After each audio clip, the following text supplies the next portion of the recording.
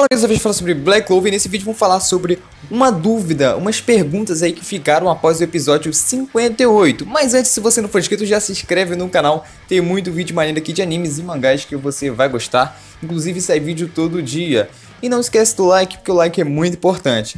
E bom, após o episódio 58 de Black Clover, se tipo, abriu um mar de dúvidas de muita gente. Inclusive é bom avisar que esse vídeo vai conter spoilers. É, vai conter muitos spoilers. Eu acredito que não vai ser conter spoiler aqui que prejudique a sua experiência ao assistir os animes, né? O episódios de Black Clover, porque não vai ser algo que vai prejudicar mesmo, assim. É mais uma questão, assim, do fato de acontecer, sabe? É, ficou meio sem entender, mas não vai prejudicar sua experiência ao assistir o anime. Mas você, você que sabe, se você quiser assistir ou não, enfim, não, tá avisado, vai ter spoilers. E bom, após o episódio 58, aconteceu muitas coisas que a galera ficou uma dúvida desgraçada. E chegou alguns youtubers aí que. Eu até cuspi. Que realmente falaram muita merda. Falaram muita merda mesmo no YouTube, falando que o Asha já tava com a sua forma demônio desbloqueada. E que isso iria Tipo, ele já estava pronto. Eu até fiz um vídeo onde eu falo sobre isso, né? Que o Astra já é, vai ter sua forma desbloqueada. Mas eu não disse que o Ash já tava com a sua forma é, demônio desbloqueada, tá ligado?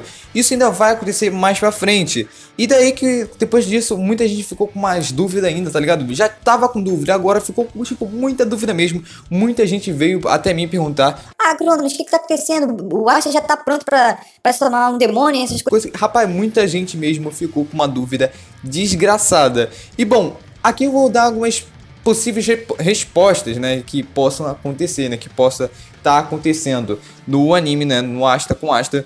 Bom, no caso, como a gente viu lá no episódio 58, a Rainha das Bruxas, ela curou o Asta. E olha só, preste atenção.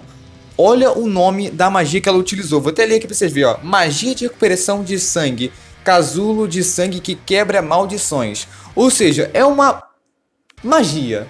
Uma magia simplesmente de curar ela é uma magia até violenta, digamos assim, já que ela, para ela ter conseguido curar os braços do Astro, como outras vezes que eles já tentaram curar e não conseguiram com outros médicos que também são muito bons, ela é uma magia bem demoníaca, como o próprio nome já diz, né? Maldições. E daí curou o Astra. E aquilo ali todo mundo já pensou assim: caraca, agora o Astra já tá com. desbloqueou o, a sua forma demônio. Inclusive eu fiz um vídeo onde eu falo sobre isso, né? Que, para quem não sabe, a Rainha das Bruxas ela que vai possibilitar a forma demônio do Asta. E nesse vídeo eu falo especificamente sobre isso. Então, se você não assistiu, eu vou deixar o link aqui na descrição, você vai entender muito melhor, porque é sobre especialmente esse caso. E bom, depois que ela fez isso, o braço do Asta realmente se curou. Ele voltou mexendo seus braços, ele até fez muitas flexões lá, como a gente viu, né? E daí que os youtubers começou a falar que não, agora ele já tá com sua forma já desbloqueada, agora ele já vai virar o capeta ali.